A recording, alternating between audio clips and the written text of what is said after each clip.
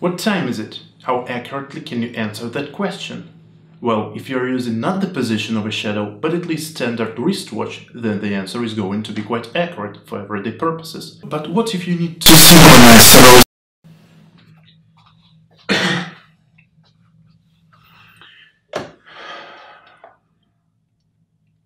Damn, that was boring.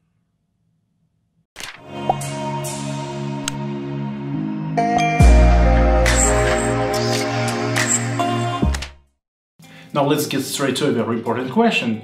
How do you determine a second? And uh, the answer is quite obvious.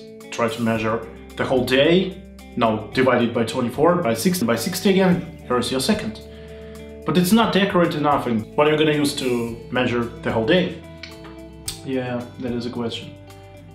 And I've got the answer for you. The answer is 9192 631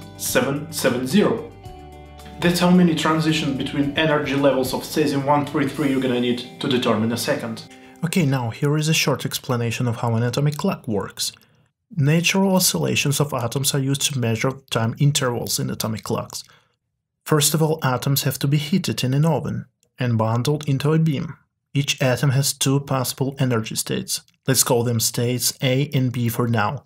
Magnet 1 is used to remove atoms in unwanted state, in this example it is state B.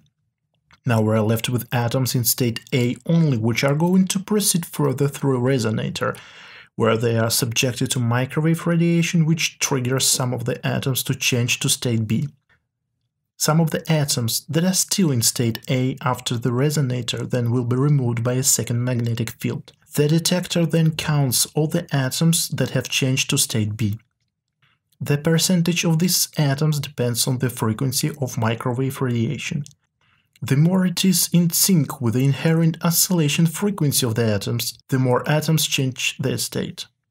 Research is being conducted nowadays to replace microwave radiation with light rays, which resonance frequency is about 50,000 times higher than that of a microwave radiation, allowing for a more precise measurement. That is much more accurate than just measuring the day and dividing it by 24 and 63 times. Yeah, that's better, especially if you need to synchronize several satellites in order to pinpoint location of a moving object, like GPS works or GLONASS or any other bullshit this planet. Here is another interesting question. Can you go backwards in time?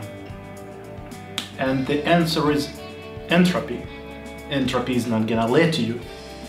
See, entropy is a measure of how disorderly things are. Take a TNT, put it into a building, blow it up, and here is entropy in action. I'm kidding, do not do it. But the example still stands. And entropy can only increase. That's why you cannot travel back in time. Time can roll only forward. There is no way to turn it around. At least I don't know how to do it. Hope nobody knows. But can time go slower or faster? And actually yes. Very near a black hole, very close, your time is going to be a bit slower than mine if you're here safe on Earth. And if you are traveling at a speed nearer to speed of light, then your time is gonna be slower once again than mine. Nobody cares that we cannot reach a black hole or travel at the speed of light. We just know these things for some reason. Uh,